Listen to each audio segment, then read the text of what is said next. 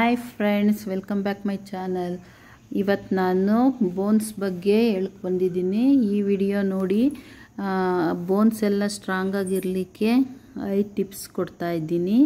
Five tips ತಗೊಂಡು ಬಂದಿದ್ದೀನಿ. Actually ನಮಗೆ ತರ್ಟಿ ಪ್ಲಸ್ ಆದಮೇಲೆ ಬೋನ್ ಎಲ್ಲ ವೀಕ್ ಆಗ್ತಾ ಹೋಗ್ತವೆ. ಅದಕ್ಕೆ ಯಾವ್ಯಾವ ಥರ ಫುಡ್ ತಿನ್ನಬೇಕು ಅಂದ್ಬಿಟ್ಟು ಹೇಳ್ತಾ ಇದ್ದೀನಿ. First tip number one beans ನಿಮಗೆಲ್ಲರಿಗೂ ಗೊತ್ತಿರೋ ಹಾಗೆ ಬೀನ್ಸು ತುಂಬ ಎಲ್ತಿಗೆ ಒಳ್ಳೆಯದು ಮತ್ತು ಫೈಬರ್ ಕಂಟೆಂಟ್ ಎಲ್ಲ ತುಂಬ ಇರುತ್ತೆ. ಹಾಗಾಗಿ ಬೀನ್ಸ್ ಎಲ್ಲ ಬೋನ್ಗೆಲ್ಲ ತುಂಬ ಒಳ್ಳೆಯದು ಬೀನ್ಸಲ್ಲಿ ಬಂದು vitamin C vitamin D zinc ಮತ್ತು ಜಿಂಕ್ ಮತ್ತು ಐರನ್ ಕಂಟೆಂಟ್ ಎಲ್ಲ ಇರುತ್ತೆ. ಹಾಗಾಗಿ ಬಾಡಿನೂ ಅಷ್ಟೇ ಸ್ಟ್ರಾಂಗ್ ಆಗಿರುತ್ತೆ. ಬೋನ್ಸ್ ಬೋನ್ಸ್ ಎಲ್ಲ ಸ್ಟ್ರಾಂಗ್ ಆಗ್ತವೆ. ಹಾಗಾಗಿ ಬೀನ್ಸ್ ತಿನ್ನಬೇಕು ಫ್ರೆಂಡ್ಸ್. ನೆಕ್ಸ್ಟ್ ಬಂದು ಡ್ರೈ ಫ್ರೂಟ್ಸು. ಡ್ರೈ ಫ್ರೂಟ್ಸು ಅಷ್ಟೇ ಮಕ್ಕಳಿಗಾಗಲಿ ದೊಡ್ಡವ್ರಿಗಾಗಲಿ ಎಲ್ಲರೂ ಅಷ್ಟೇ ಡ್ರೈ ಫ್ರೂಟ್ಸ್ ತಿನ್ನಬೇಕು ಅವ್ರ ಕೈಲಿ ಎಷ್ಟಿರುತ್ತೆ ಅವ್ರ ಮುಷ್ಟಿ. ಒಂದು ದಿನ ಅವ್ರ ಮುಷ್ಟಿಯಷ್ಟು ಒಂದು ಡ್ರೈ ಫ್ರೂಟ್ಸ್ ತಿಂತಾ ಬರಬೇಕು. ಬೋನ್ಸ್ ಎಲ್ಲ ಸ್ಟ್ರಾಂಗ್ ಆಗ್ತಾ ಹೋಗುತ್ತೆ. ನೆಕ್ಸ್ಟ್ ಬಂದು ಮಿಲ್ಕ್. ಮಿಲ್ಕ್ ಮಕ್ಕಳಿಗಾಗಲಿ ದೊಡ್ಡವ್ರಿಗಾಗಲಿ ದಿನಕ್ಕೊಂದು ಲೋಟ ಮಕ್ಕಳಿಗಾದ್ರೆ ಎರಡು ಲೋಟ ಹಾಲು ಕೊಡಲೇಬೇಕು ಫ್ರೆಂಡ್ಸ್ ಬೋನ್ಗಳು ಅದರಲ್ಲೆಲ್ಲ ಕ್ಯಾಲ್ಶಿಯಮ್ ಇರುತ್ತೆ.